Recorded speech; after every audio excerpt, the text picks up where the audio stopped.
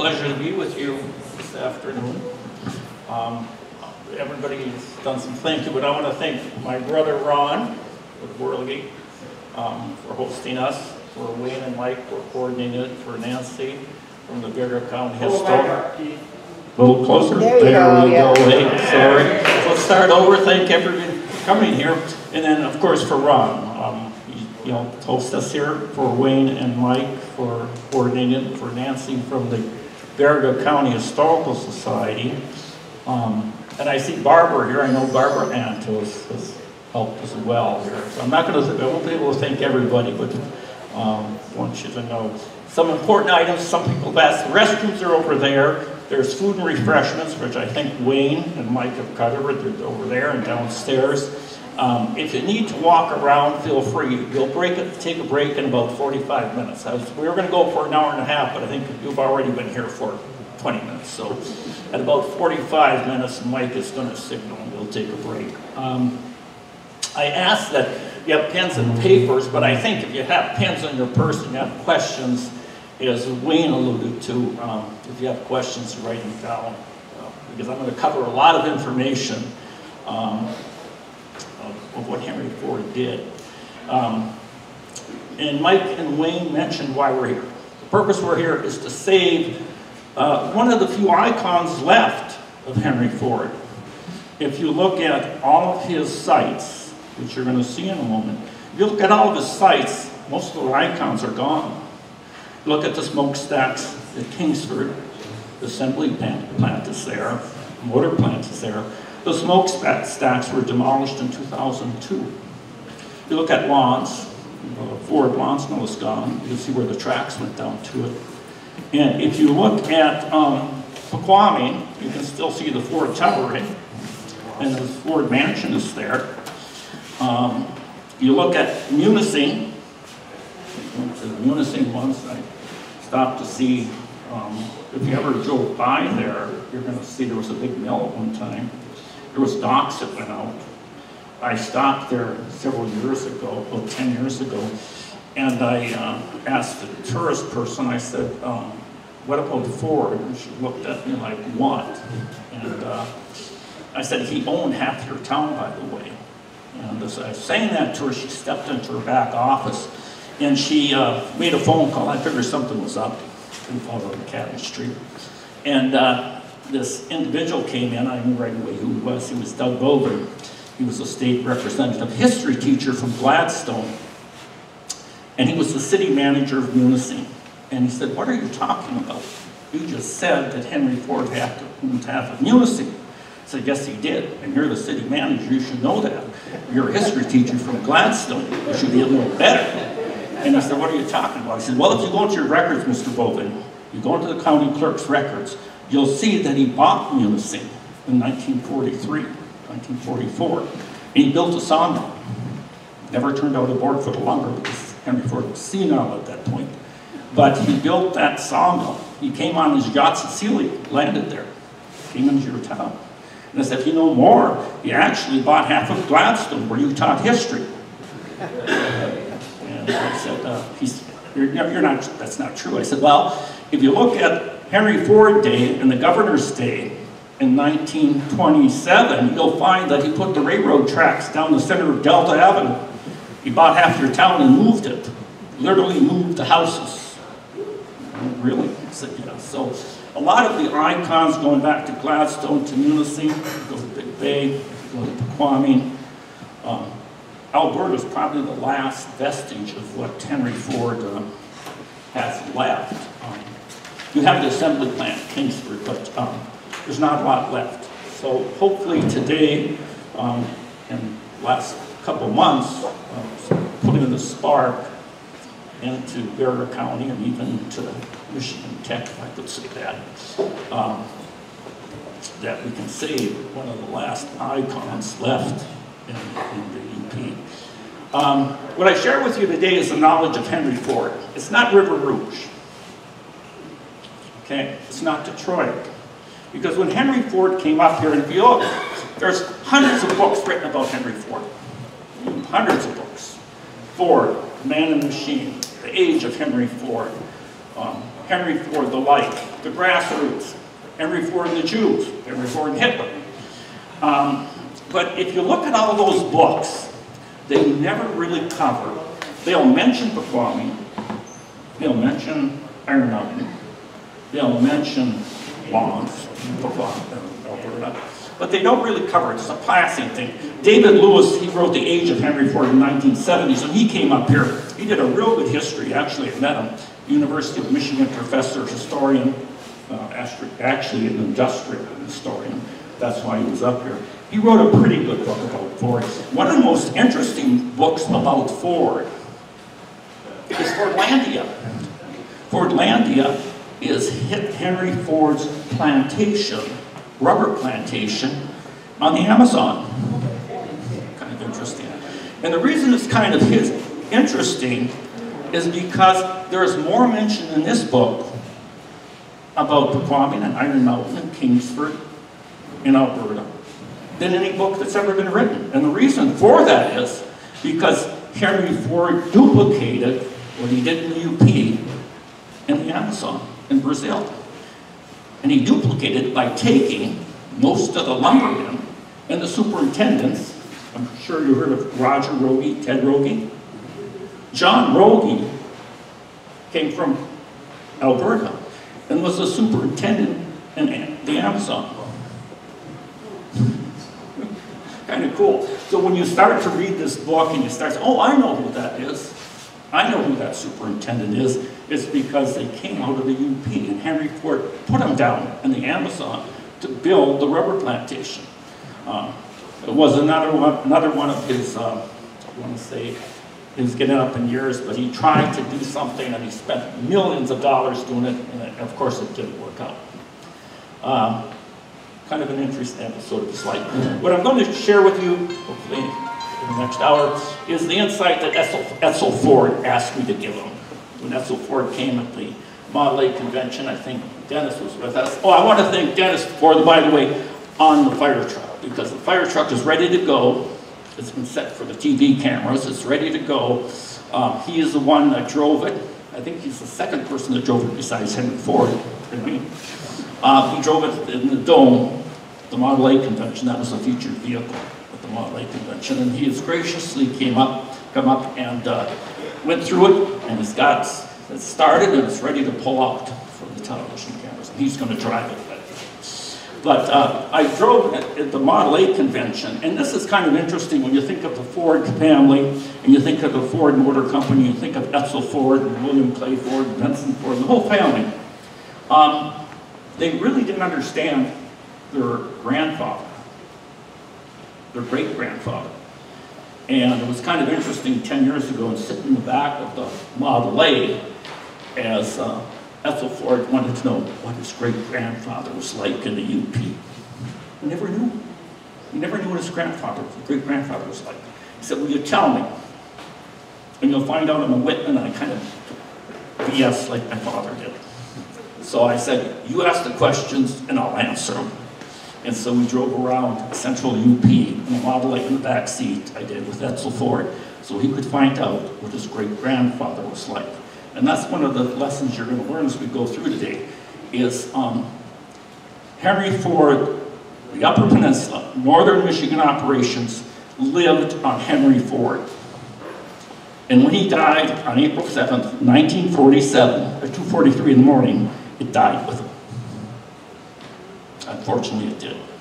Everybody knew it was coming. Those in the know in Alberta, Kingsford, Pequaming, and L'Anse, they all knew it was going to happen. So it was not a hidden thing. Uh, Henry Ford II had no love for his great for his father, grandfather, no love for him. And so everybody knew that when it when he died, NMO was going to die with him. And uh, Henry Ford also said, his quote is saying, history's bunk. He didn't say that. Um, it was taken out of context because he thought history was punk, there would never have been a Greenfield Village. There had never been a Benson Ford Research Center. And there never would have been Alberta if he thought history was punk. He didn't think history was punk. It was taken out of context. He said history in certain areas is punk, but he never said history is punk, and that's unfortunate.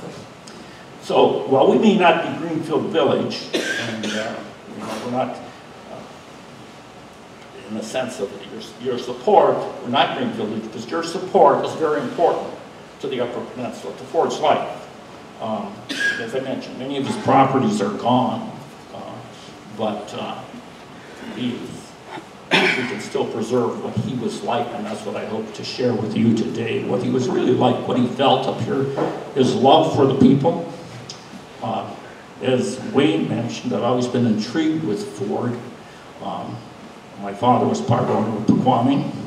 I, I bought that fire truck back in 1974 when my brothers thought I was nuts. Even my family did, but I bought it. And it's an icon now. Um, I spent a lot of time in Detroit doing research at the Benson Ford Research Center um, for my master thesis. And then in the 70s, and I know it's getting back sometime, in the 70s I started interviewing people.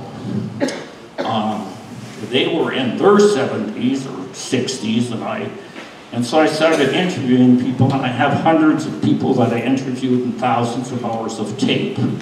Um, and my, my sons have finally said, Dad, after 45 years, you've got to write a book or you're going to be dead and the grave. We're very blunt, we're very polite about it. So I am starting to write the book and I am going through the tapes. I've interviewed some of your grandmothers and grandfathers, or great-grandfathers, great-grandmothers. I have them on tape. Um, and someday, if you ask, maybe it will get up to you. We have a, make arrangements to work it out. Um, but it's, it's, great to come back. My, I always say I left L'Anse, uh, I think 45, 50 years ago, but always stayed here. I, I love coming back here. Um, and why did we choose the World Whirl-I-Gig? We could have chosen Michigan Tech, Alberta. We could have chose uh, Michigan Tech. We could have chose Legion. We could have chose any place. I wanted to hit the Whirl-I-Gig because this is historic. If you walked over that, the steps there, you will notice the World Whirl-I-Gig was established in 1933. Why? Because the biggest towns in Baraga County at the time were L'Anse and Pequaming. And my aunt and uncle, great aunt and uncle, were business people. Denver Graspy, Roy Britton, Dan Britton, Martha Britton, they were business people. And they said, where do we want to build a dance hall? Because dancing was very popular. And so this place was built. in 1933 is a dance hall. Halfway between L'Anse, three and a half miles from L'Anse, three and a half miles from Pequaming. That's why it's built here. And so you're, this is part of history right here we're dealing with, okay? Now, Ford, let's go to Ford. What was Ford really like? He came here up here for really industrial purposes only. That's what he came for in the 1920s. The towns were small. There was not much infrastructure here, not even basic communities really. And he looked at it as an opportunity. He had just purchased the, the Ford Motor Company, lock, stock, and barrel. He owned all the stock in the Ford Motor Company. In 1919, he bought it all. The reason for that, he wanted to control him. That's another whole story regarding these Jewish people, okay? And his anti-Semitism was there because he did not want to be controlled. And so he bought the Ford Motor Company, lock, stock, and barrel in 1919. And the minute he did that, he said, I need something. I need two things. I need iron ore, and I need wood. Okay? And with that in mind, he said, hey, where am I going to get it from? I'm going to get it from the Upper Peninsula, you're going to see. So in that case, he said, okay, if I'm going to go up there, he wanted to build towns. Uh, Henry Ford was an engineer by trade. I don't think most people knew that. He was an engineer by trade, and he said he was very itemized. It was, he wanted certain things done a certain way. And so he said, if I'm going to go to the UP, I want efficiency, I want things to be done a certain way, my way. I was once giving a presentation in Duluth, Minnesota, and I was describing Henry Ford, and the woman yelled out, he was a dictator. I said, yes, he was, if you want to say a dictator. He followed the golden rule. What's that? I said, he who has the gold makes the rules. And Henry Ford had a lot of gold. he made the rules. And so uh, when he came up here, he followed that. I'm, I'm, going to do this. This is the way it's going to be done. Um, training is going to be important. The towns are going to be important. Um, people, he believed that people that lived in this community should be trained, and they should be trained from the grade school on up, so that it was going to be his future workforce. And you'll see that in his towns, how he developed that in a short time. Um, They needed to learn how to operate the lathes, they needed to learn how to operate the saws, they needed to learn how to operate the carriages. And you learned that not at the mill, you learned that in high school in the workshops. And that's what he did. Um, He also believed in building the communities, and you're gonna see that with Alberta, you see that with Pequaming especially, those were his communities. That you had the schools at one end of town, you had the homes, you had the garden green where you grew your vegetables, and you had your mill at the other end. And so you had your church rows, which you're gonna see, everything was laid out exactly the way that he wanted it. He designed it. It wasn't by chance. He took the time and designed it, as you're gonna see on some of these locations. Um, He provide, he believed in providing the best for the communities, whether it be the workshops, the schools, halls, whatever. He, he wanted to do it that way. Um, So his personality, which he really couldn't do, he couldn't do that in Detroit, River Rouge, he couldn't do that in the bigger places. I'm sorry, you have to advance the slide. Oh, oh, okay. You can watch that. He wanted to build that, um, design that, he did it his way, it was, it was only his way. Well, ask any question, I have a question for you. Which, where was the first dustless sawmill built? First dustless sawmill built in the world? That's an easy one. What was the question? Where, where was the first dustless sawmill built in the world? By Alberta. Alberta. Where was, the- who built the first prefab homes in the world? Alberta. No. Who built, who built the first prefab homes in the world? Sears and Roebuck. Oh. Where were they located?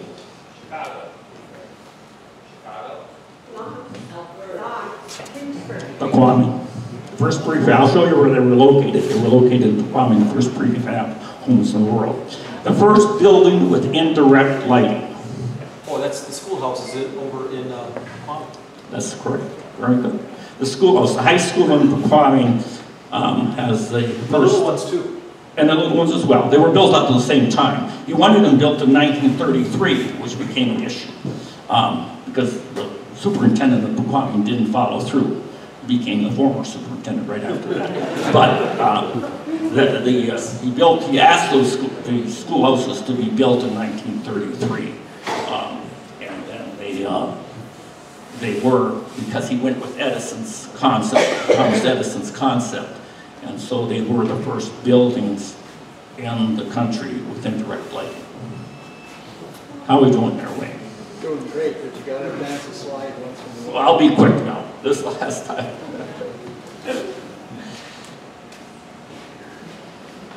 So years ago, when I developed this program, uh, I, Dr. Ruth Repke Behrens was my uh, mentor in the history department.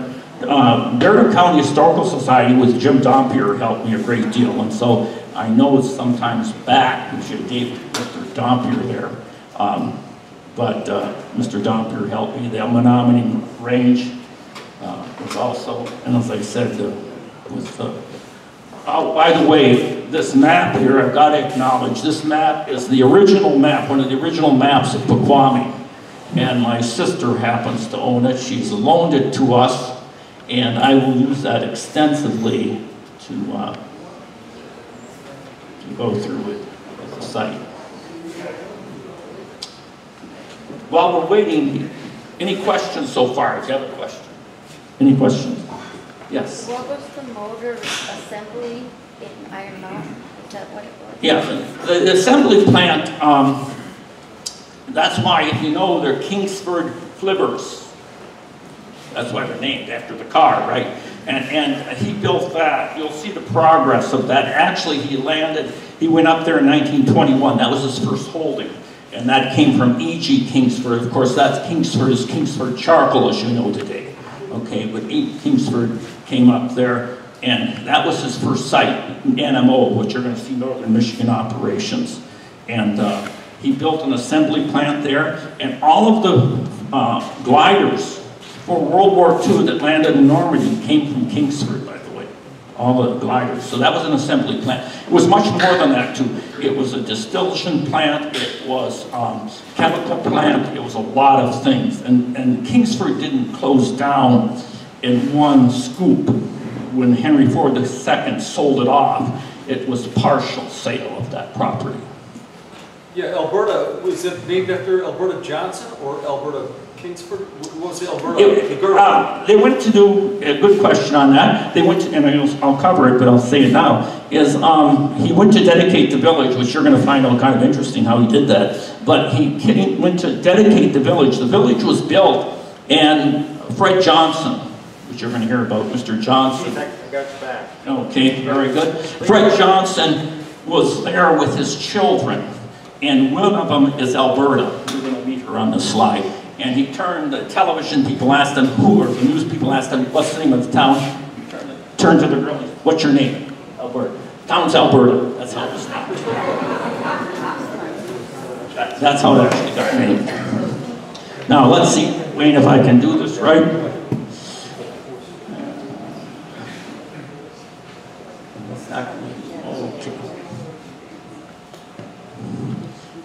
So, um, as I said, it's Northern Michigan Operations. That was the title for up here, NMO. You're going to see that in everything. You're going to see that on that cabinet right there, and you're going to find out why in a moment.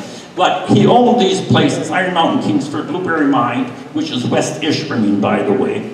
Uh, Imperial Heights, which is Michigamme, by the way, okay, if you've ever heard of Imperial Heights Road.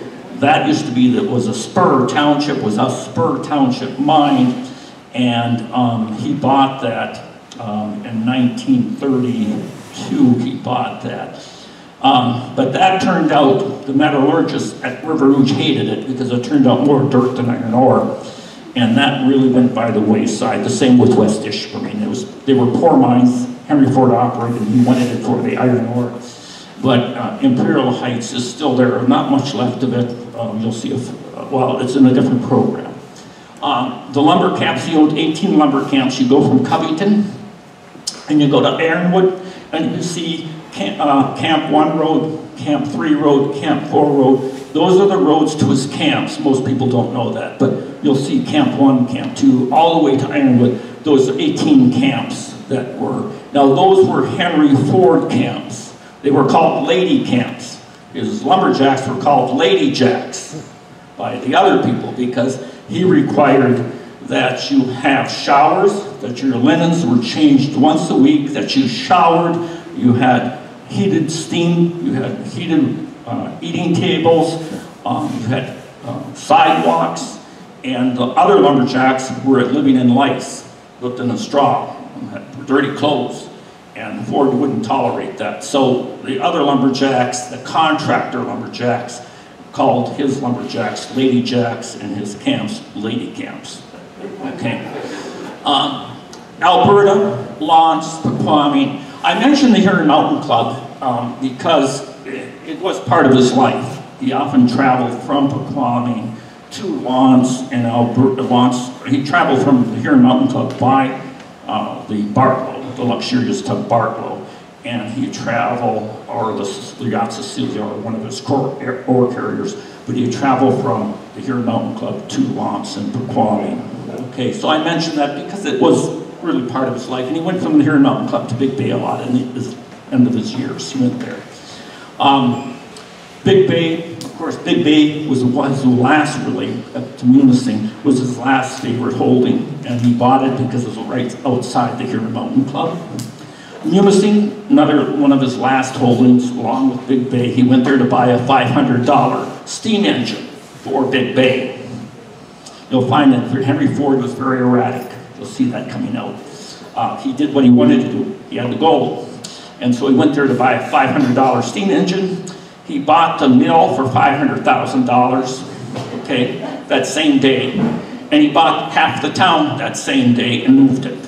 Not moved the town, but bought half the town, turned to his aide and said, buy the town. That's how it happens with Henry Ford.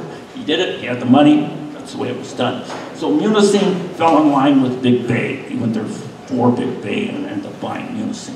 Gladstone is an interesting story because he couldn't buy Kingsford. The guy, the German farmer, would not sell Kingsford for what he wanted. So he got mad. So he went down to Gladstone and Martin Rose was jumping off the dock and he said, you shouldn't do that. He was with E.G. Kingsford. And he said, what do you mean? It's fine. And Ford said, what do you mean it's fine? He said, well, it's deep, it's deep, it's deep port. And Henry Ford turned to E.G. Kingsford and said, buy it. And he bought half the town, and in a year, six, eight months later, he moved half the town. There's photographs of Martin Rose with the town being moved, one of the houses. So I, I turned what we're covering today, then those are his Northern Michigan sites. They're part of NMO, Northern Michigan Operations. Uh, and uh, I covered Iron Mountain Kingsford because it really wasn't his favorite, but it was his headquarters, so that's where he went to get the lowdown. You're going to see how we operate. Uh, Alberta, Pequaming, Big Bay were his favorite places.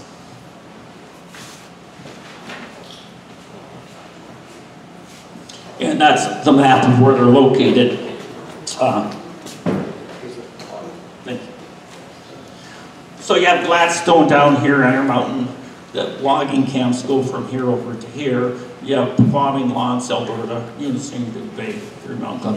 Henry Ford owned, if you take out the national forest and all the other land that was private, he owned 82% of the UP.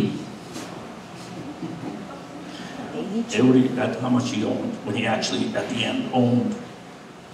And what, as I mentioned to you, he felt that at the end, it was his playground. This was his playground, because when you look at it, he came here for the iron ore, he fell in love with the, he had to still need the iron ore, but he fell in love with the place. And at the end, when he had a stroke in 43 and he was going senile, he was losing over a million dollars a year with his operations. Of course, you're going to say, what was that to Henry Ford? He owned 100% of the Ford Motor Company. He was wealthier then than Bill Gates is today. His personal wealth, and he owned the Ford Motor Company. Lock, stock, and barrel. He was wealthier than, we always think of Bill Gates. No. If you go back to economic times, how much Ford owned, he was wealthier than he was today. Um, you know, we, we look at Henry Ford and look at all these books, and we only really catch a glimpse of what he was really like. Because it was the people that he shared his love with when he came up here, and all his little antics that he did that showed how he was really like. And I always say, you know, he wasn't a saint, he wasn't a sinner. Heard me, I was in the paper today. He wasn't a saint, he wasn't a sinner. But he loved the people. He loved the people up here. And uh, even when it was cost him, in the Great Depression, when everything was shut down, four towns operated. Four towns in the Depression. Iron Mountain, Kingsford, Alberta, L'Anse, oh, three, because Big Bay was open then. In the Depression, those four, those three towns operated. You employed everybody. Never laid anybody off, even during the Depression. And why? Detroit was shut down because he loved it up there. It wasn't going to happen. Uh, Henry Ford believed in individualism. Uh, and the way that he operated is, you know, um, I expect you to make you a full person. I'm going to teach you how to do things. Um, you're going to uh, have a garden. You're going to see in these villages they had to have a garden. Why? Because you're going to have one foot in the plant and you're going to have one foot in the garden. You're not going to starve. And that's what he did with all these communities. You had gardeners you're going to find out because he believed that you shouldn't, uh, it shouldn't be the industrialists uh, just taking care of you. Uh, his best friends, of course, uh, were Thomas Edison, Harvey Firestone. Time to tell a story, hey Wayne. Is um, they came up here in 1923 with President Harding. And uh, as I said, when he operated Iron Mountain, Kingsford, he always went there first. So he'd come on the yacht Sialia, and he had landed Escanaba, and then he'd travel by car, with his, his cars, his special hunting camping wagons, his fleet of camping wagons that he made. And he'd go to Iron Mountain Kingsford. Then he'd traverse up here, okay, with those people. And I heard a story about, a, uh, you can appreciate this, I think. It was about a Finnish guy. He's out in the woods. He's in Amasa 1923, and he's walking through the woods. And uh, I heard about it. I, this was in the 70 or 1970s, and he was in his 70s. It happened when he was in his 30s or that. And so whenever I heard a story, I'd always look up the guy. Did this really happen? And, and so I looked him up and introduced myself and said, can I tape you? And he said, sure. And I said, did this happen? He said, yes, Mr. Vittman, it happened. He said, I was walking through the woods, and I was just walking through the woods, and I come across this party. And I walked in, and this guy jumped up, and he said, I'm Henry, I'm Henry Firestone. Come in, have a cup of coffee. And he said, thank you. So ready to sit down, Mr. Whitman. And the next guy jumped up, and he said, I'm Harvey Firestone. It's a pleasure to have you with us. And he said, Well, I had a Firestone tires on my logging truck, and I knew the name, but I didn't know what he looked like. But I shook his hand and I said, It's a pleasure to see you too. And he said, Ready to sit down again. And the next guy jumped up and said, I'm Thomas Edison. He said, It's a pleasure to have you with us. He said, Well, Mr. Vinna, I knew a light bulb, and I knew Thomas Edison's name, but I didn't know what he looked like. And then I sat down, and the next guy jumped up, and he says, I'm President Harding. It's a pleasure to have you with us. No, no one will be offended with it, a little offensive language, but it is history. He said, well, I voted for the son of a bitch, but I didn't know what he looked like. and so I shook his hand, and I said, it's a pleasure to meet you too. He said, then when I'm ready to sit down, I looked over, and there was this Asian guy. Now, Henry Ford was a vegetarian, and he always brought Harry Soto with him. Harry Soto was an Asian. He was a vegetarian, and Henry Ford was a vegetarian, so he cooked for him. And he said, now that you think I'm a dumb son of a bitch, I'm going to think, I think you're going to tell me you're Santa Claus. And he says, no, I'm just a cook. I'm Harry Soto. That's, that's in Amasa, Michigan in 1923 on one of their trips. Not saying it's this trip, but they're playing mimics here. They're, they're um, playing around with their, because um, Henry Ford did not believe in guns, by the way. Or, I mean, Edsel Ford, they didn't have a good relationship. And that was the problem with, you'll see with the Upper Peninsula Northern Michigan operations, is that uh, Henry loved the UP. Edsel Ford was considered, I don't want to be offensive, a ladies' man. And not in the sense maybe we think of a ladies' man today, but he was more of a lady. He was into operas and symphonies and orchestras, and Henry Ford wasn't into that. Okay? And there was not a good relationship. There was just a story of reading the book where Henry Ford went and built nine kilns at River Rouge. And um, Harry Bennett, was his goon squad, I shouldn't say security man, but he was really a mafia. Um, he said, um, he's building these. He says, don't worry. When he finishes them, I'll tear, tear them all down and fire everybody. You'll wait, wait until he built them all, and he was going to, literally tore them all down and fired everybody. So there was that relationship that didn't really go well uh, between Edsel and Henry. And Henry Ford II, when he took over the Ford Motor Company in 1944, 45, dates, is that there was not a lot of love. And so everybody knew once again what was going to happen with Northern Michigan operations when, when, it, when it went down. So that was uh, the relationship between those two. Um, I mentioned this emblem, and this is kind of important, this emblem. Everything that Henry Ford owned, and I know if Tracy Barrett is here, but Tracy Barrett was telling me, which I already knew, is that NMO meant Northern Michigan Operations. And on top of that, and in the first years that it was on there, it was a faded yellow, not because of age, it was faded. Henry Ford didn't like that, so it became a bright, a bright yellow, if, if necessary, a green background. If you look on this cabinet right there, you'll see Pequaming and NMO. Um, Everything that Henry Ford owned, including his bed frame, his bed, has it marked. Okay.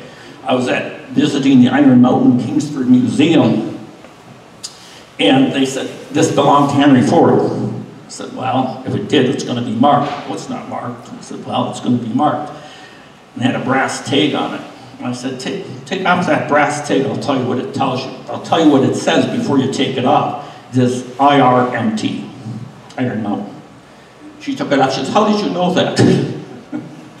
I said, Henry Ford owned it, um, it has it on it. I went to Munising when I was, found out about Munising, and I had a chance, the mill was gone, but I got to talk to Chuck, Chuck to see on that. And I said, Chuck, I started talking to him, I have got the doors that now were never put on the mill at Munising. My father bought them. They're in a garage. I said, you gotta be kidding. 12 foot solid oak doors, 12 feet high, six feet wide, solid oak. I said, will you show them to me? Sure. So we went to this garage on Main Street in Munising, brought me into this old garage, dilapidated garage. And he said, what are you looking at? What are you looking for? And I said, well, this was Henry Ford's, it's gonna have M-U-N on. And I I said, here, this was Henry Ford's, it's got M-U-N on. He had stamped M-U-N with N on the bottom. So when Henry Ford owned something, he always had it labeled. That's the way that he, that's the way that he did business. Okay. Uh, Iron Mountain, Kingsford, he bought that in 1920. He flew in, or came in on Sialia. Then he went to see E.G. Kingsford. Well, he went to see E.G. Kingsford, who was his cousin who owned a dealership in Marquette. And he took E.G. Kingsford to Boston. And he said, hey, I need iron ore. This is 1920. I need iron ore, I need lumber. Do you know where I can get it? He already probably knew where he could get it. And E.G. said, here, here's a spot to get it. So in 1921, he comes to Kingsford. There's a German farmer who just bought a big German, built a German farmhouse. Now you know what Germans do, they build out of brick, right? And he built this beautiful farmhouse. He wanted $100,000. And Ford, when you find out about Ford, certain things he did, you're not getting $100,000. I'll give you 50. At that time, as I mentioned to you, the iron ore industry is closing down. The mines are closing. There's not business. People are without work. The people of Kingsford, or Iron Mountain, there's no Kingsford at this point, they get together the $50,000. Farmer gets 50, Ford, we give them 50. Ford found out about it. No go. Ain't gonna happen. That guy isn't getting a dollar over $50,000. Now, we don't know what happened. We know the guy went to Detroit. We know there's a deed for one dollar at the Dickinson County Courthouse. So we don't know what that guy got. But Henry Ford got the land. Now, was it for 50 or 100? The deed shows a dollar. But he got his land. Uh, and that's why he was going to go to Gladstone, is because he couldn't get the mill at Iron Mountain, Kingsford. So he was going to go to Gladstone, but of course then he got the he got the uh, land at, at Kingsford. Um, that's in 1919 that it happens. Um, it was about this time the Ford Motor Company is really expanding. Remember, he buys Ford Motor Company lock, stock, and barrel in 1919. So he's expanding. Uh, he wants the iron ore. He wants the lumber. And uh, so he's going for it. Uh, it triggered a boom in Iron Mountain, Kingsford at that time. Um, prices soared from 100 to 300 percent in that community when he bought it because of speculation. Um, as I said, he went up there after he bought it, went up on the yacht Sialia, and he, uh, it was a blueberry patch. It was a blueberry patch. Once again, it was a blueberry patch. He laid out that town. Now, if you go to Iron Mountain, if you go to Kingsford, and you look at Kingsford, go to Chicago, or go to Detroit. Detroit has the St. Clair River, right? Kingsford has Menominee River. So when you travel down Grand Boulevard, or Boston Boulevard, or Linwood Avenue, you're traveling down Detroit, because that town is laid out exactly like Detroit, because that's the way Henry Ford wanted it. Okay, people don't realize that when they're they're traveling down there, that town is another mini Detroit. Detroit River, St. Clair River, Menominee River. That's how he laid it out. Uh, not long after uh, he built the sawmill, now the sawmill The Model T needed 250 board feet. It's 82% wood, by the way. Need 50 board, 250 board feet. And as foresters figured out that in order to get four Model Ts, you needed one tree. And Ford's projections is he needed a million trees each year. So that's why his loggers were given the mission of you will get this many trees come hell or high water because I need 250 board feet for each Model T and this is what I want to build. So go get it. And so i- in the Kingsford was turning out about a million board feet that first year. That's how it was done. That's how he wanted it done. Um, after that, he built kilns. This is the smokestacks I told you about. They were 190 feet tall. They were demolished in 2002. Um, they were deteriorating. They were a liability factor, so they were taken down. That was one of the biggest icons on the UP of the Ford Motor Company. Um, they were taken down. Uh, you can see the Ford water tower. That is still there. It has Lodal on it though right now. And, and that's one of the uh, burning plants uh, for combustion.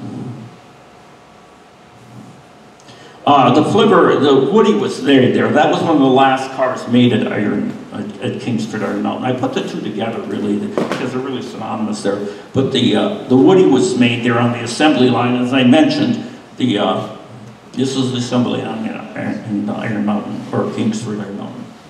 And this is Kingsford um, distillation plants. That's one of the assembly buildings. Um, another assembly building uh, with lots of pies that are now Lodal. And let's turn to Alberta. I mentioned the Johnson family. The Johnson family, uh, Fred Johnson was the superintendent of NMO, and this is his family. She is the Michigan Beauty Queen in 1933, um, and this is Alberta. Or this is Lillian, this is Alberta, I'm sorry. She's the beauty queen, this is Lillian. She was actually here at the Model A convention. And uh, Ford gave her a car, gave her a dish set, and gave her a baby buggy. And the, ba- the baby buggy was at Alberta uh, in 19, in 2012, when we had the Na- National Model A convention. That is a Lincoln Continental, by the way. This is 1942, and what's going on in 1942? The war. But uh, he got the, uh, he got a, uh, family got a, um, that, that car. Interesting enough, uh, I'm going to turn to, jump back to Kingsford Iron Mountain. What happened? In the end, kind of interesting, this, the interesting thing is when you start to dig into data and you start to dig into information, remember I mentioned Ford suffered a stroke in 1943. Okay? And remember I said about NMO and the people not liking it, his relatives. So when Ford suffered the stroke, everybody knew that when he passed, it's gone. Most people knew that. They, the um, Henry Ford II came out publicly many times and said it. That, hey, my grandfather's gone, guess what? So it was not a hidden secret.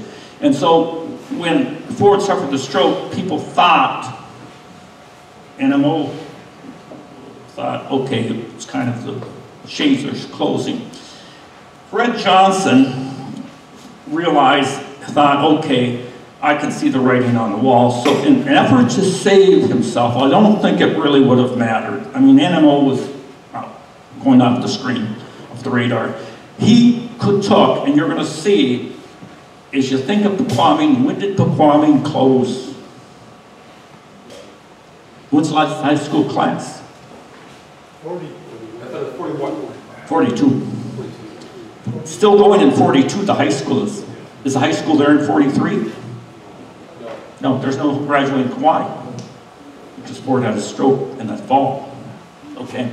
And so in 43 and 42, the Common closes. L'Anse still's open because there's lumber there they want. Alberta closes.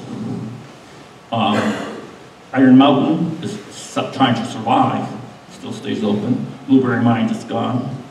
Munising's gone. Gladstone's gone. Big Bay's gone. Because Pussyfoot Johnson, I use the name now, I'm bringing it out. Hopefully his relatives aren't here. His name was Fred Johnson, they called him Pussyfoot. He had no backbone. And everybody called him Pussyfoot.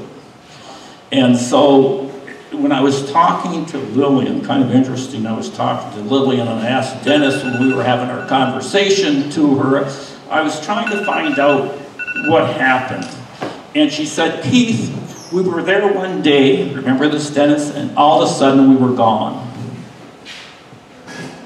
You'll find that's true with Henry Ford. You'll see that in the next few minutes, hopefully. Is that That you did it his way or the highway. And um, if he didn't do it his way, so um, when he had the stroke, everything was moved out of the Kwame. Everything was moved out of the towns and brought to Iron Mountain, Kingsford. Unfortunately, for all, for someone, Henry Ford got better. And you'll hear that. Is that, um, and I'll share the story now, is, is Kingsford's closed, the towns are closed, Henry Ford comes back in 1944, and I have this on tape, it's rather interesting tape, is, because looking at the archives, I see where Hold It, they're hiring school teachers in October and September, they're hiring school teachers for these towns, and all of a sudden, there's an email that goes to C.J. Sullivan from uh, Superintendent Dow, Kwame, is the school is closing, just like that. And there's weeks, the school board's called into emergency session in L'Anse, that this is happening. Why? Because Mr. Johnson decided, there's a stroke, close everything, I'm gonna survive. He moved everything.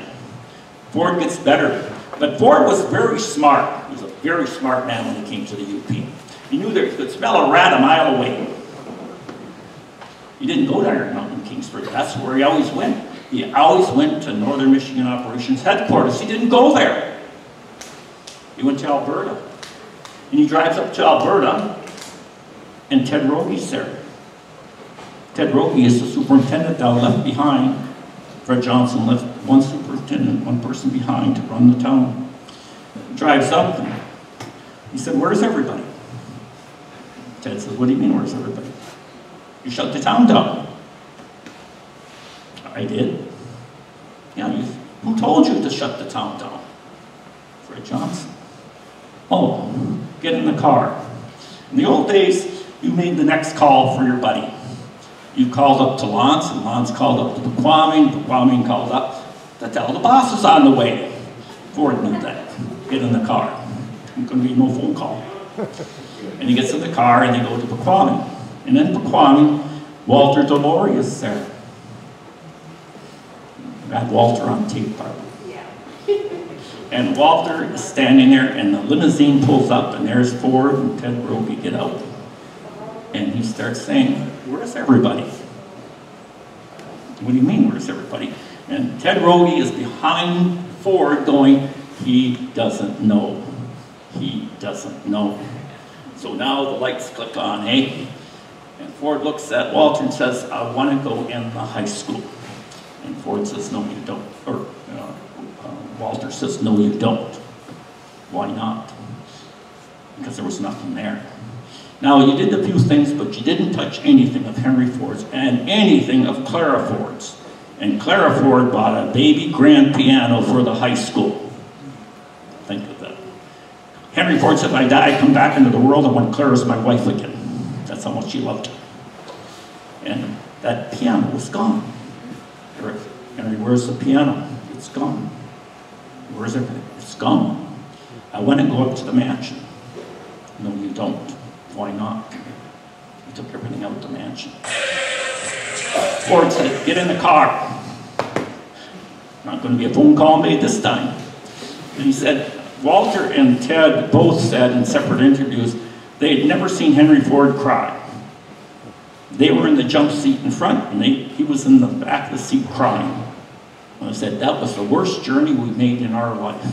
Henry Ford in the back of that car crying all the way to Kingsford. He got up to Kingsford. He said, get out of the car. I want you to see what's going to happen. Uh, he got out of the car and he said, watch what's going to happen. He walked and he said, why'd you do it? And he said, um, because uh, I had to. He said, you don't have a job anymore. That was the end of Pussyfoot Johnson. That's why Lillian understood, didn't understand why his father left so quick out of Kingsford. That's what happened with Henry Ford. Let's take the break. We were talking about uh, these people here, the Johnson family, and that's Lillian on this. That's Lillian here, and that's Alberta here, and this is a Michigan beauty queen, just by chance. She's a Michigan beauty queen. So I mentioned that the family, um, when we were doing the interviews, uh, Dennis and I were there, and we were doing the interviews, uh, and uh, she said we had to leave quickly. And I knew why, and I asked Dennis, should I allude to it at all? And, she, and it was not proper, so I did not, I knew why they left very quickly. Ford had a habit, is that, as I said, you did it his way or the highway. And um, as he owned everything in the town, you did it his way. You painted, you kept your lawns clean, you kept the gardens growing, you did that. And if you didn't, there was a fleet of trucks, which you're going to find out about. And that fleet of trucks is that if you did not do it, within two hours, you were gone out of town.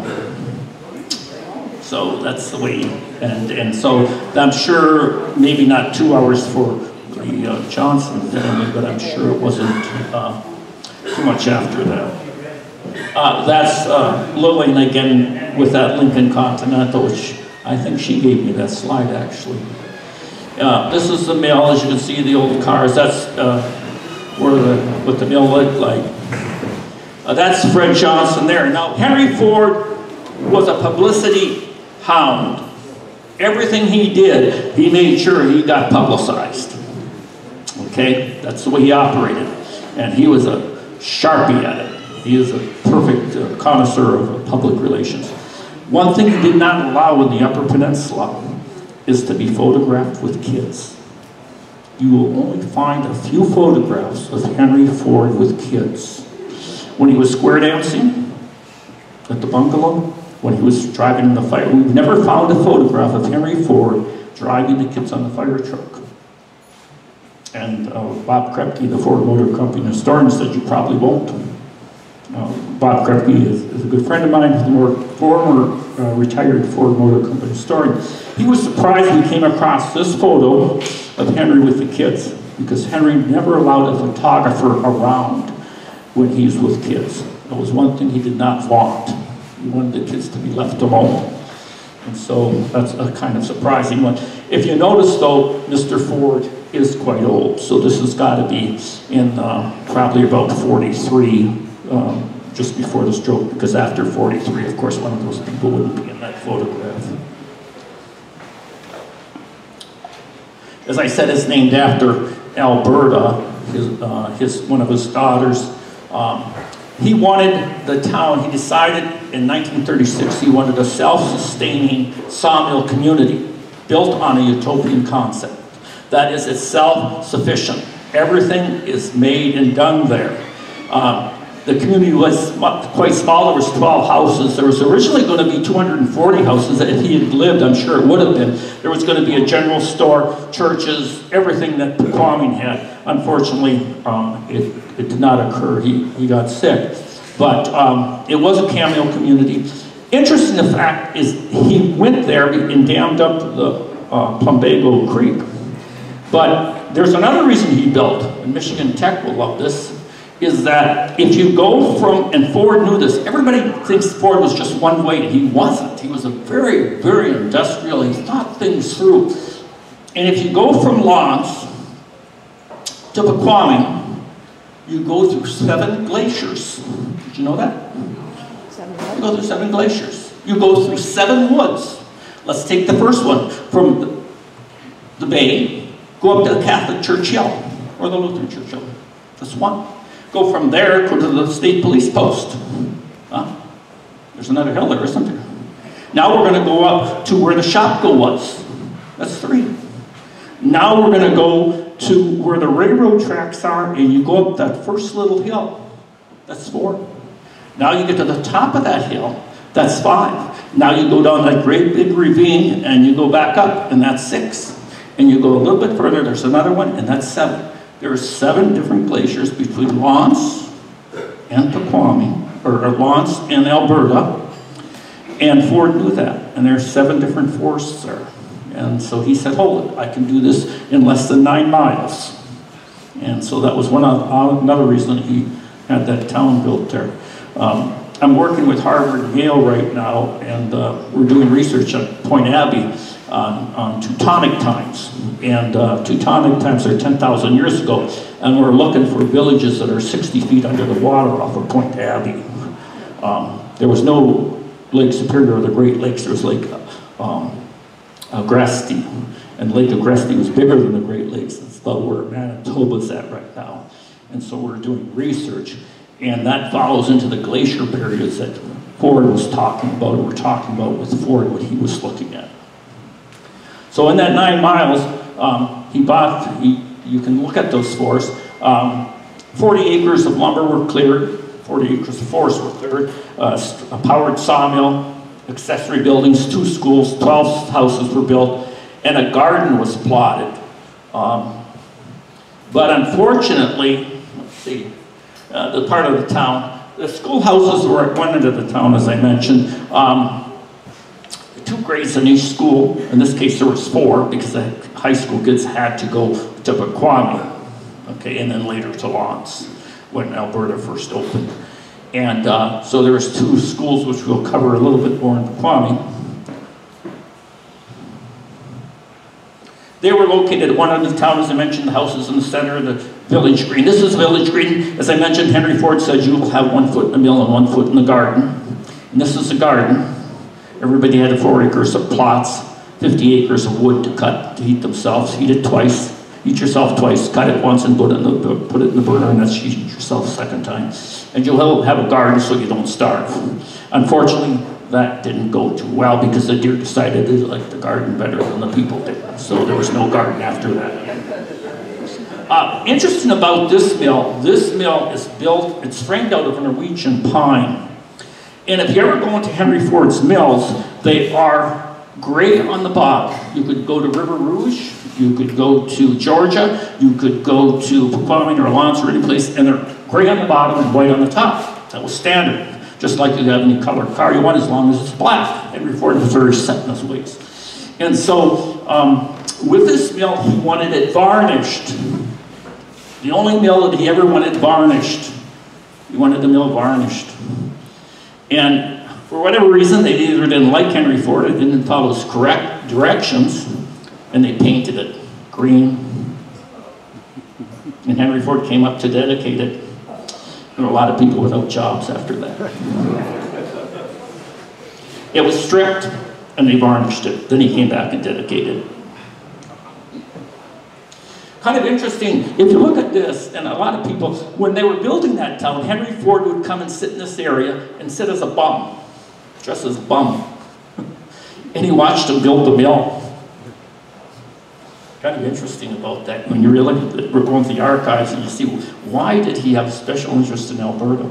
Because he came up there, he designed the mill. It was the first dustless sawmill in the world. He wanted it done a certain way. And he'd come and sit on a log here and uh, watch them build that mill. If you look across here, you're going to see F O R D. How many have seen that? Great big letters. Oh, you see the little letters right now, don't you? You speaking the little letters or the big letters? There were great big quartz letters. You can see the F O R D. That was in great big white letters in quartz rocks. The kids had a different idea where the quartz rocks should be. We found right about here now. But that was uh, for Henry Ford, wanted that in quartz rocks. Um, that mill put out, it was varnished, hardwood floors, well-spaced, steam-driven. Machineries were made, maintained spotless. Daily production ranged from 18,000 board feet to 23,000 board feet of hemlock. Um, they said, the mill shut down briefly in 42. They said it was to manpower shortage. But it wasn't to manpower shortage. We know what it was for. That's when he suffered that stroke in 42, 43, and that's when that mill closed down. It did reopen again in 1943 after he discovered it, and it operated until 1954. And in 54, uh, community and 1,300 acres of adjacent timberland were donated to M&TU. Um, and they've been operating it for, they operated it for a while for instructions for their students. And then it uh, went went into a museum, and then the, as I understand it, someone correct me if I'm wrong, is that the safety people said it wasn't safe. They had to uh, make safety accommodations to it so it could operate.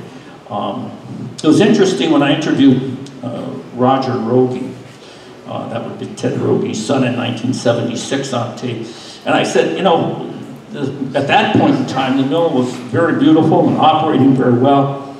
And I said, you know, um, your father was superintendent out here as well, and uh, well, how come it's done so well? And he said, the old man would be quite pleased, speaking of Mr. Ford, he said, the old man would be quite pleased if he returned to Alberta now. This is 1976. The town is much like the way he left it.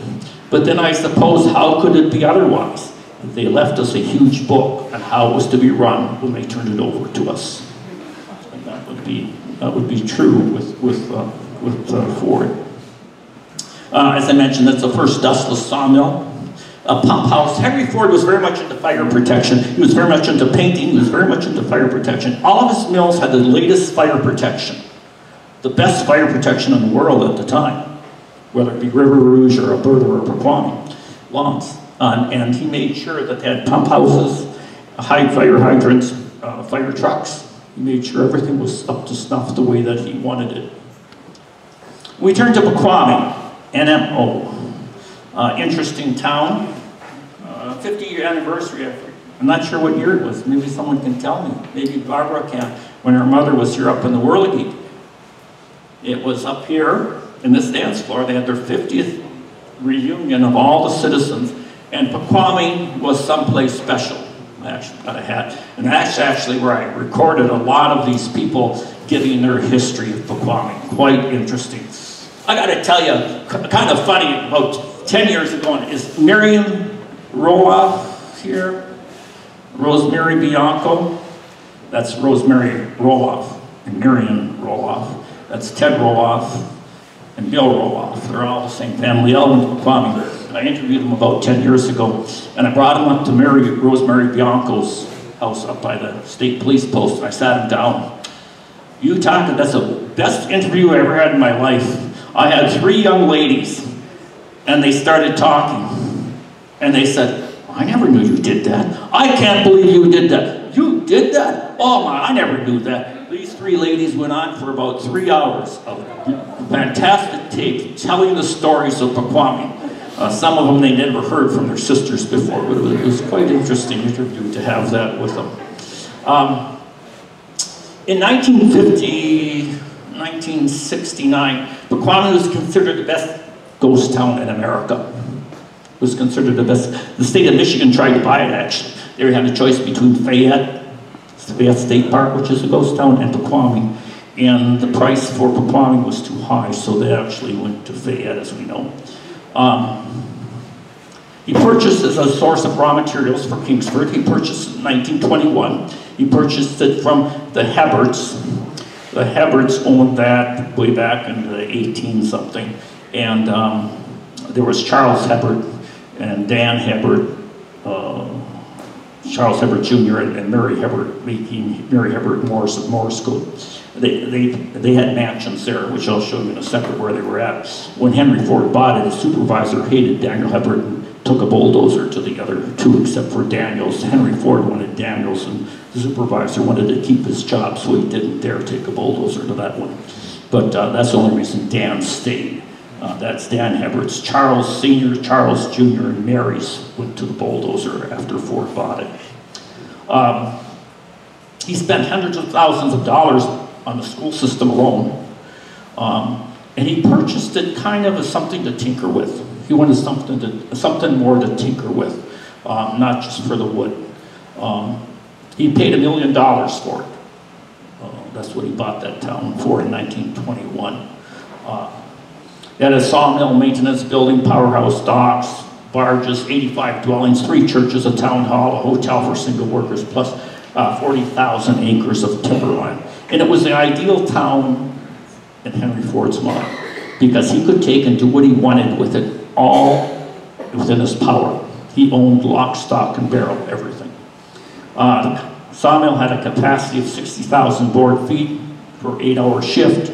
Uh, the lumber was not air dried in this case because there were no, it was air dried because there's no uh, kilns in that case.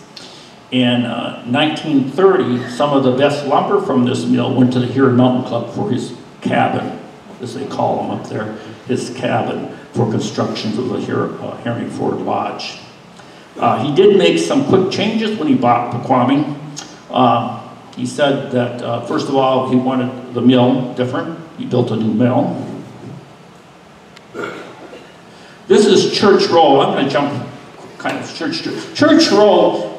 The uh, is this area right here, and Church Row. If this church looks familiar, this is the Methodist Church at the top of the hill.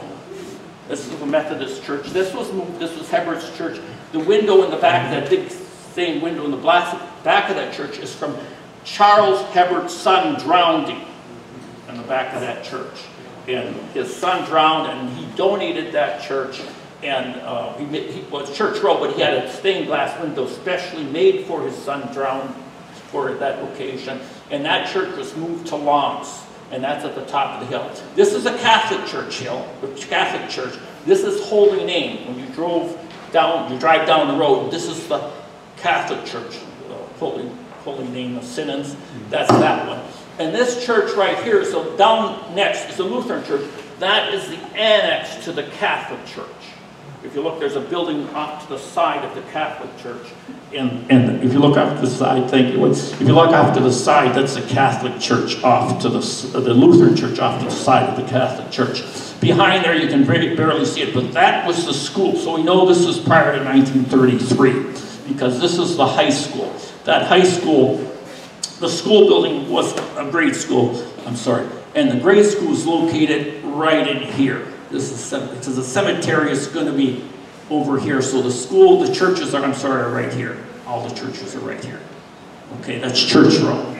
And, and the high, the grade school was located here, which of course was replaced. And you can kind of see the bluff where you're going across here. So that was um, that area there.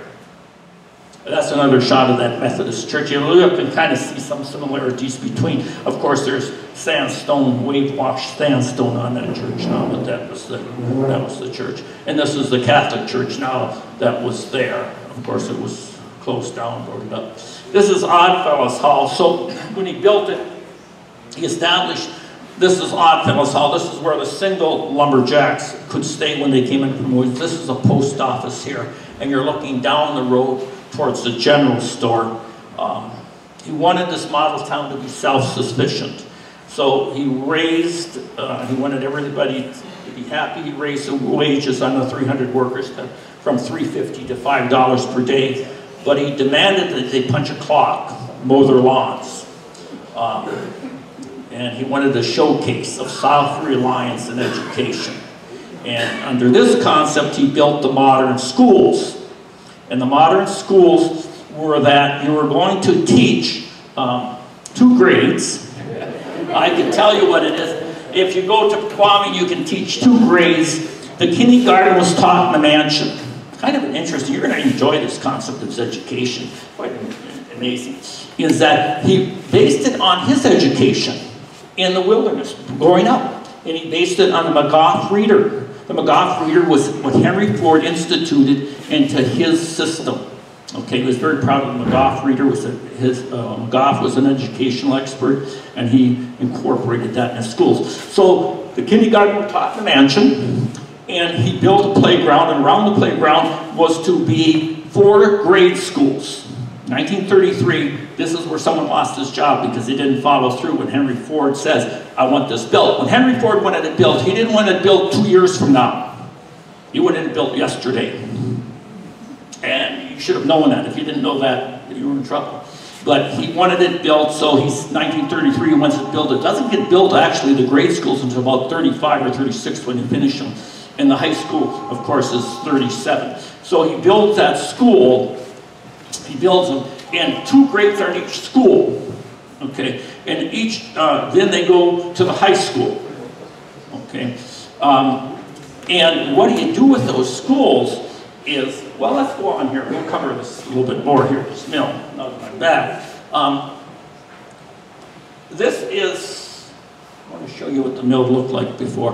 This is 1921. And this is 1928, actually. This mill was built in 1924, this mill. So you can see quite a difference. You can see um, fire system, Henry Ford, one of those fire system. You can remember these buildings are still here, okay? And kind of interesting about another thing about Henry Ford is that if you look at all the windows in here, why all the windows? Why all the windows? Henry Ford loved steam. And he wanted the people to see how the steam engines operated. So if you go to any of the mills, you go to Kingsford, you go to the mills in and that to this day, you'll see all the powerhouses are all windows. Actually, if you go to Munising and you go by Munising, the, and you look where the high school is at in Munising, just before you get to Munising High School, look off to your left if you're coming from Marquette, and you're going to see a fenced area. And around that fence is the structure for his powerhouse that never got built. He didn't have time to build it before he died. But that was the structure, was going to be just like this. Just like that. And the foundation is still there. The abutments for the structures are still there. But that's the way it was going to look. So he loved steam.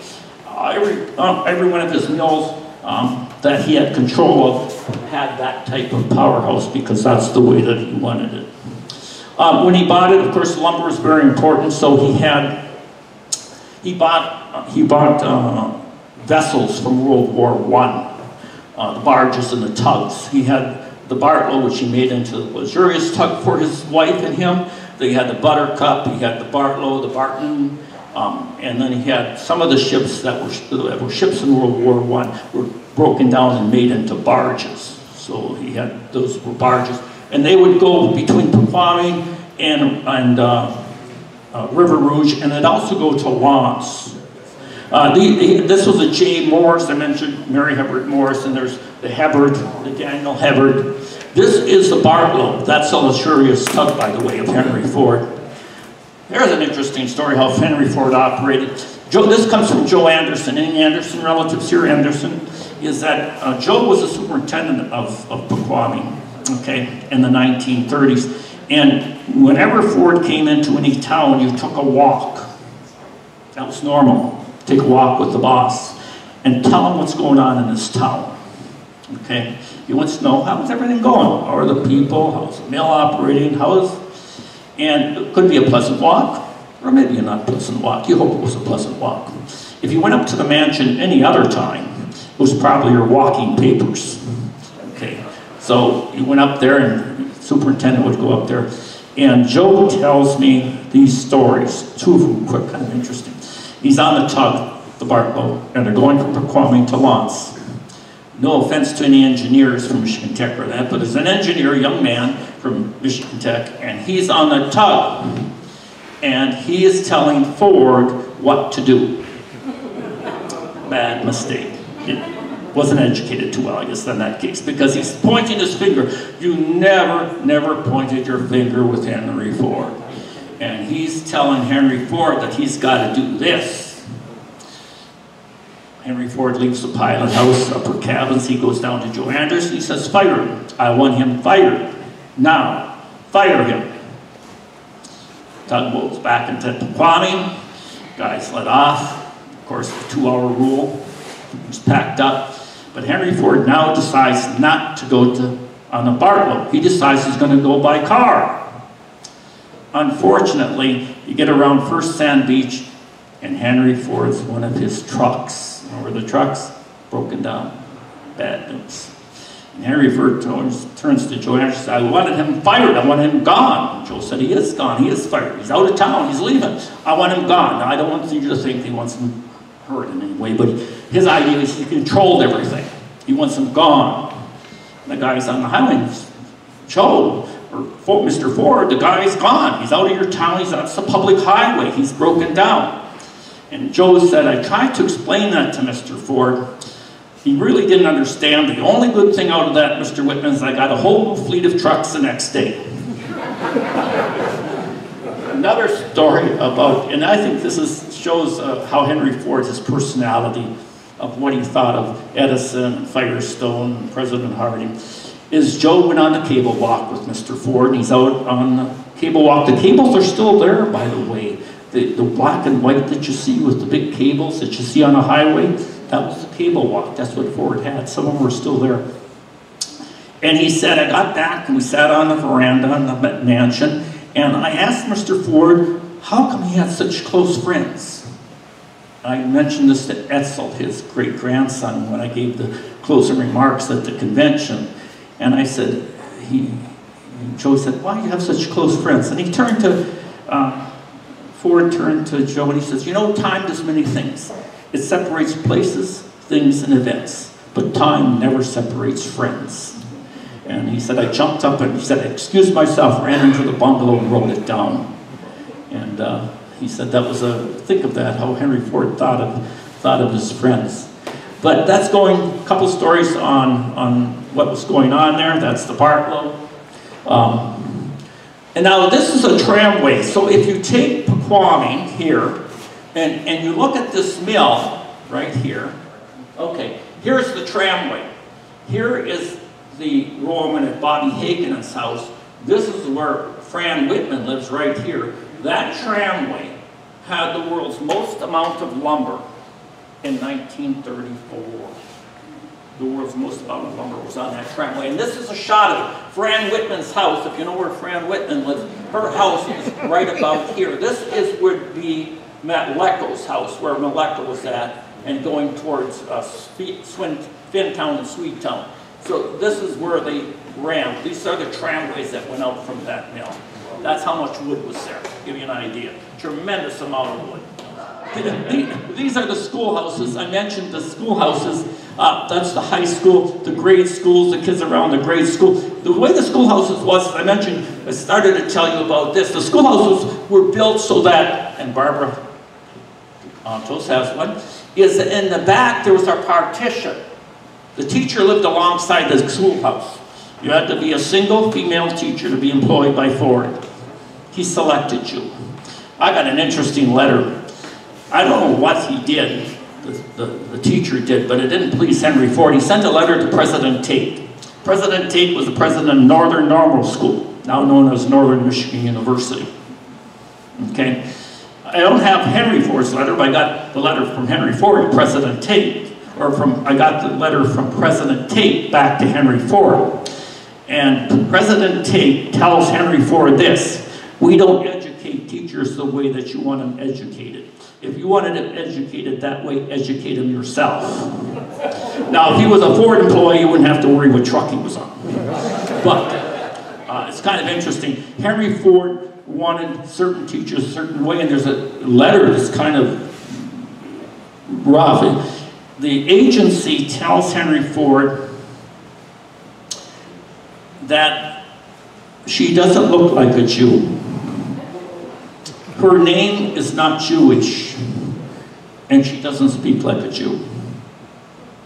Kind of, uh, you know, you, you think of not a sinner, not a saint, is that the agency is telling Henry that this is an individual woman who's applying for a job, educated, has a degree, but they're looking at how to hire the teachers.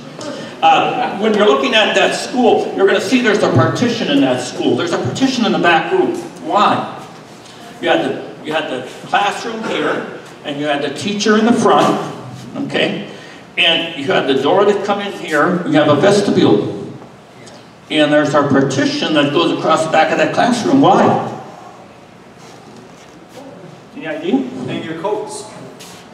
It was a coat rack. Well, there was a coat rack there. Yeah, you put- hang your coats there, but there was a vestibule, hung your coats and put your overshoes in that. So that wasn't for that purpose. That was not built for that purpose. The purpose it was built for is so that LL Close, Mr. Crepe Shoes as they called him, and Mr. Dow, Crepe Shoes as they called him, they'd put crepe on their shoes and walk in to listen to the teacher teach. And Henry Ford would do the same thing to make sure you were teaching the way that he wanted you to teach. So they had a, a partition there on these schools. There was a partition that went back across that, and uh, and Ford, Mr. Creepshoes, and all close, and Mr. Dow would go um, and listen to the teacher teach. So uh, kindergarten was taught in his mansion, as I mentioned, so he would come right out and listen to the teacher teach. So he did, he did monitor education very well. Um, that's one of the stoves, the very interior stove that uh, was used in the classroom. What the schoolhouses looked at the end. Um, the high school, okay, that's the maintenance garage where the fire truck is at. Um, Henry Ford wanted things done a certain way, as I said many times. He wanted, uh, the kids wanted the skating rink, okay? Um, and um, the little kids, if you mentioned, I I mentioned to you little kids in the fire truck and taking them up to the mansion, they were the little kids. The big kids never got to Ford. Little kids asked for little things. Big kids asked for big things. Big things meant the superintendent had more work. The superintendent was a normal human being. He didn't want more work. So the big kids were kept away from Ford by the security men. Some say the servicemen, service uh, security men, goon squad. Unfortunately, that was the case with some of them. So the big kids never got to Henry Ford.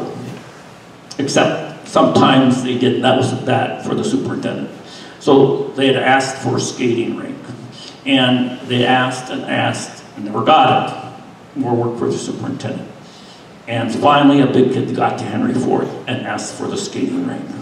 So this is, some of you will recognize some names here, Edward Kavanaugh, John Hurd, Doris Salo, Isabel Hakenin, right there. That's your mother. That's Isabel Hakenin. And uh, they're on a, they're working on a loom from Greenfield Village. Um, and, so, and this is a spinning wheel. It's a loom of spinning wheels brought from Greenfield Village. Henry Ford brought instruments up from Greenfield Village for the Henry Ford schools in, in, in uh. That's either my mother or my Aunt Doris. There you go. Yeah. I mentioned gardens, okay? All the schools had gardens. This is the Kwame School Gardens. I mentioned to you, oh, it works me with Scott, but I've talked long enough, is these are the first prefab homes in the world. Those are by- by Sears and Roebuck. My Franny's home is right here. Molecular's home is there. Uh, my sister Franny's home was here. Malako's home is here. Bobby Hagen's home is here. You can kind of put in perspective with the Ford Tower. But this is the Pequaming Gardens. You had to grow gardens. Kids had to learn how to grow gardens. That's the way it was. Um, next one.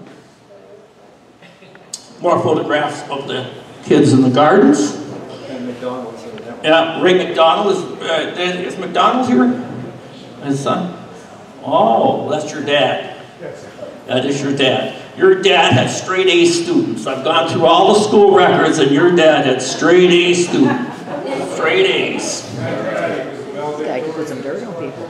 Yeah, I, I don't doubt that. When you look at his report cards and you read the writing what the teacher said, I can see why. I didn't keep up with it. Uh, more pictures of the garden. Uh, Henry Ford in Pequaming, that is actually in Pequaming at one of the fields there. Uh, you can see this kids sleigh riding, and I think they're projector Johnson, but this is at the bungalow, and you notice Ford will not be in it, but the kids would sleigh ride, part of what they did.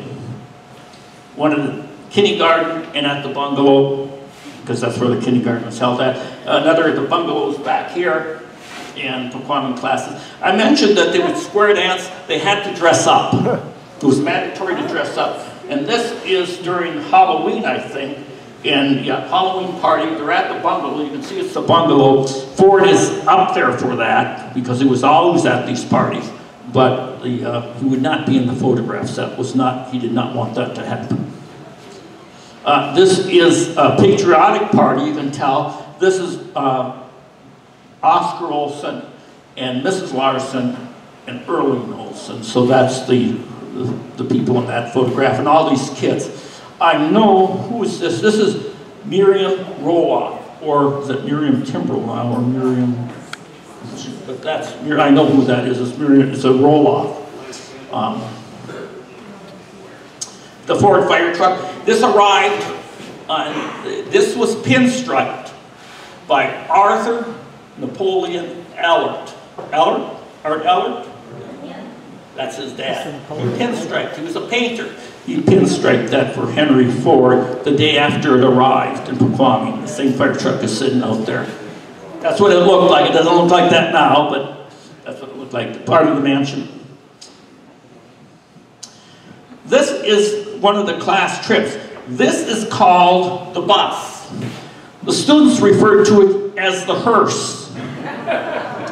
They also referred to it as the Black Maria. These were the buses. They were station wagons, big vehicles, not like the buses we have today, but these were big vehicles, and the students kindly referred to them as the hearse. But this is what transported the kids around from Pequaming to Alberta, because Alberta students came to Pequaming for high school. They did not go to L'Anse. The bus went to Alberta and picked up the high school kids, brought them to, uh, to Pequaming. Now, kind of interesting with this, George, you know George is? George Carrier, the Pettibone Carry Lift. That's George Carrier, he built this. This is part of the classes in the heart in the, uh, the shop where the, remember Henry Ford says you will learn and you will come to my mill. Part of learning was doing woodwork. This was called the Chubb. Thank God Carrier built the carry lift better than built the Chubb because they put the Chubb in the hot pond and it sank. Another photograph of the Chubb being built. They built toboggans. Ted Roloff, I'm sure all of you have heard of Ted Roloff. I think he just passed away, unfortunately. Ted Roloff built the toboggan. He still has the toboggan. He showed it to me several years ago, but he has the toboggan that the kids built in that uh, workshop. Basketball team, they won seven consecutive teams. The first year that they were a high school, they won this. In those days, we did not have a state championship. We had the Lower Peninsula State Championship and the Upper Peninsula State Championship. This school won the first Class D state championship. The first year they were opened, they didn't have a gym. They went to L'Anse to practice. This is, a, this is um, Paul Van Abel. This is Jack Doyle. This is Leo Milo. I'm trying to think who that is. I don't have it. I know the face, but this is Paul Van Abel, and that's Jack Doyle. Interesting enough with him, interesting enough with him, he was a number one player. Not that it, things are old or new. He was a number one player. The following year, this is the year they won the state championship. The following year, father got transferred. Guess where? Dearborn. this is your dad, Ray McDonald, and this is Jack Doyle. Kids like to play pranks. This is called the pranksters. If you notice, they've got whiskey bottles, they've got cigarettes. Of course, those two things were forbidden in Pequaming and certainly forbidden for young people. But it's called the pranksters. It's taken outside one of the, uh, the houses, the boarding houses. And uh, Ford would not have appreciated that. Uh, once again, the school's playing. The high school. Yeah, that's looking at the bungalow from the water side. There was a walkway, remember I mentioned the cable walk. The cable walk went out through the fence and went out towards the point. That was the cable walk. You never, you always wanted to take one cable walk, not two. Once again, you can see the gate going out through the fence and, and the bungalow. Henry, uh, Clara Ford loved peonies. On top of this was a time, was a time, the uh, time being they call it. I'm sorry. Sundial. Sundial, and what did it say on top of that? Time is valuable. In every Ford plant, on all their clocks, he had one saying, time is valuable. Time never separates friends, Time is valuable. That was on that weather dial. Someone stole that, unfortunately. But this whole garden was peony. Clara Ford loved peony, therefore every garden will be peony. In fact, I mentioned the powerhouse, all the windows. Let's turn to Big Bay quickly. and we'd be- This is Big Bay. He was senile, 43. Yeah, there you go. Uh, he was uh, he suffered the stroke at 43. He got better in 44. He came back up. Um, he was kind of docile. Went to the Huron Mountain Club, but he needed something to tinker with. Um, at the Huron Mountain Club, there are no phones in those days. I don't know if you're aware of that. There were no phones allowed. So if you wanted to make a phone call, you went to Bay Cliff Health Camp.